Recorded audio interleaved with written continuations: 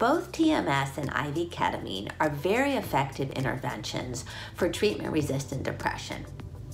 How do we choose which is better for any individual patient? TMS is covered by most insurances, whereas IV ketamine at present is a cash pay procedure.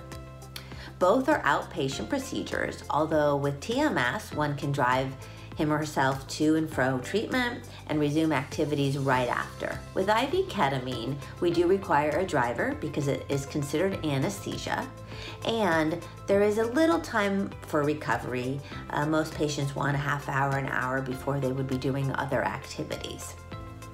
Ketamine seems a bit superior to TMS when we need a very rapid response, as with acute suicidality, or if the depression is comorbid with significant PTSD or chronic pain.